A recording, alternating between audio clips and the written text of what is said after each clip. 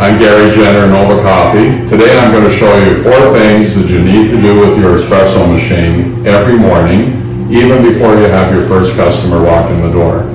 These four steps are important because it will prepare your espresso machine to make the drinks the best they can be. It's easy to remember. We're going to start from the outside and work in. Your espresso machine may have two steam wands, it may have one. This beautiful White Eagle that we just brought in has two.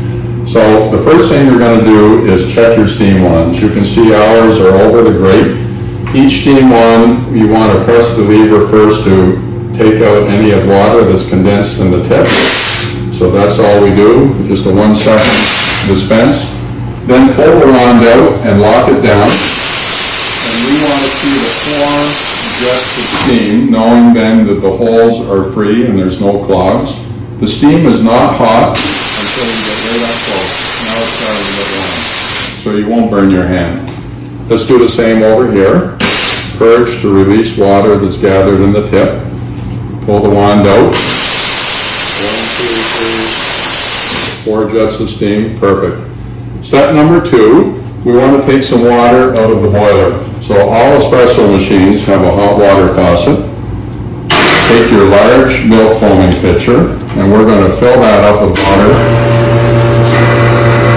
you may be using your water for making tea. If that's the case, you're already changing the water in your boiler. You can see it's nice and clean. Smells fresh. That's what we're looking for. The reason we do that, the boiler in the espresso machine is large and it's almost full of water. But that water is for the production of steam. That's not the water that makes your coffee. So if you didn't change that water regularly on a daily basis, and let's say you made a couple of hundred drinks a day, you're not changing the water for fresh water by making coffee. You do need to take a pitcher to two pitchers out every day. Step number three, we're going to check each of the two coffee handles. We want to make sure there's no dry coffee left in from overnight. So you just take the handle out, you can see there's some grinds there. We're going to use the no stop button rinse the handle out, put it back in, and just back and forth a couple of times, take it back out, rinse, shut the group off. And You know that handle's clean and ready to go. Let's do the same with the second one. Rinse, back and forth a couple of times. That releases any grinds around the gasket. That handle's nice and clean. Last step, number four, is the most important because we want to brew a shot and make sure that the stream is correct. A good shot of espresso should brew in 25 seconds. That's the Specialty Coffee Association recommendation. You can see on this machine we have handles with double spouts. That's because we do all our drinks using a double shot. That's going to be between 14 and 18 grams of coffee in each handle. But right now, I don't know if the stream is correct because I don't know if the grind's right. So before we serve our first customer, we want to brew a shot and check that.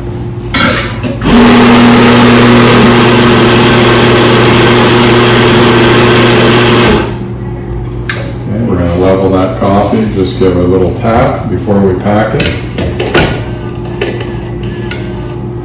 Swipe the grinds off the seal of the handle.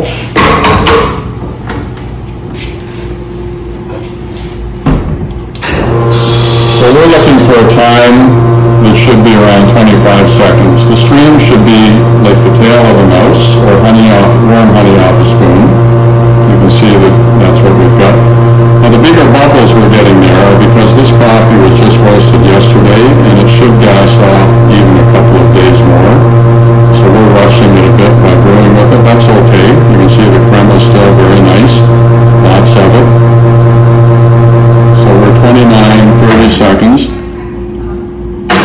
Beautiful looking drink. So we know that's good and we can work with that. 25 is the goal. You never want to go below 22 seconds and you really don't want to be above 35, but 30 to 35 is even okay. So let's discard that cup and we'll come back and try a second handle.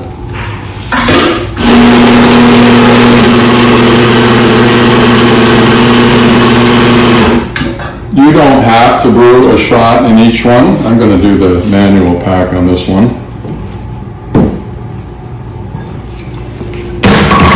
But it's good to do a couple of coffee shots. This helps warm your machine up. And you know for sure when you're done that everything's ready to go. Beautiful stream.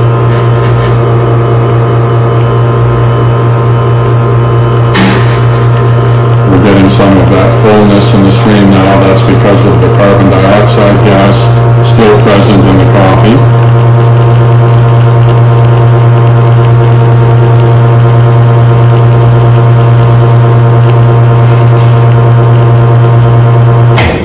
This one was 32 seconds, so I'm going to bring the grind, I'm going to make it a tiny bit coarser, just to compensate, and I'll go half a number.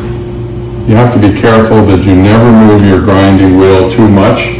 You do small increments at a time. You do too much, your grind is way off, and then it takes a lot of time to get it back. We call this dialing in your grinder.